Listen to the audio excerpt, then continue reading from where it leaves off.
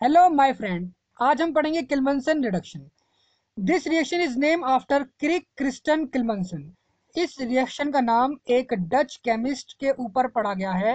उस केमिस्ट का नाम था Erik Christensen Clemmensen Clemmensen reduction a chemical reaction described as a reduction of ketone or aldehyde to alkane using zinc amalgam.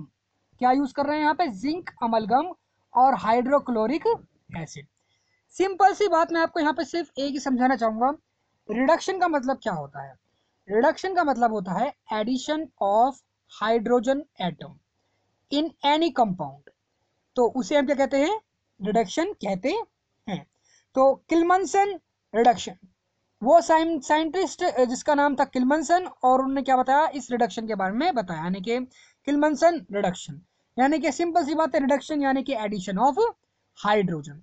तो आप यहाँ reaction में देख रहे हैं कि यहाँ पे आपको प्रोपियोफिनोन ये जो आपको नज़र आ रहा है, यहाँ पे एक कौन सा ग्रुप अटैच है ये? ये एक कीटोन ग्रुप अटैच है।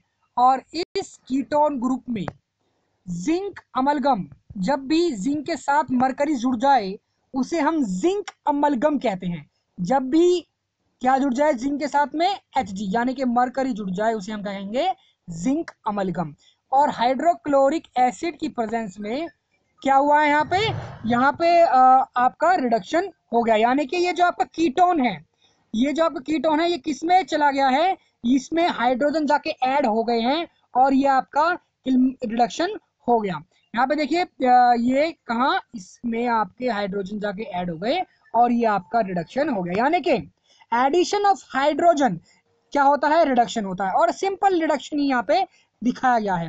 किलमनसन रिडक्शन में। किस किस की प्रेजेंस में होता है? बस ये ध्यान रखिएगा। किलमनसन रिडक्शन जो है आपका जिंक अमलगम और हाइड्रोक्लोरिक एसिड की प्रेजेंस में होता है। ठीक है ना? आप यहाँ पे देख सकते हैं। दूसरे वाले में देख लीजिए। हेप्टेनल ये यहाँ पे क्या है? यहाँ पे ये है आपका एल्डिहाइड क्या है यहाँ पे ये? एल्डिहाइड और इसमें हाइड्रोजन जाके अटैच हो गया है। और ये आपका क्या बन गया है यहाँ पे? सिंपल एन हेप्टेन बन गया, यानी कि रिडक्शन हो गया, यानी कि एडिशन ऑफ़ हाइड्रोजन हम सिंपल कहते हैं रिडक्शन उसे कहते हैं addition of hydrogen and removal of oxygen is called a reduction simple जो सिंपल डेफिनेशन है तो ऐसे ही किलमनसन रिडक्शन में काम हो रहा है, इसमें हाइड्रोजन ऐड हो रहा है, यहाँ पे देखिए हाइड्रोजन ऐड हो रहा है, और आपका ऑक्सीजन यहाँ से बाहर निकल रहा है, ठीक है ना? तो ये सिंपल है आपका किलमनसन रिडक्शन ये क्या है? साइक्लो हेक्सेनॉन किसमें कन्वर्ट हो गया? साइक्लो हेक्सेन में कन्वर्ट हो गया।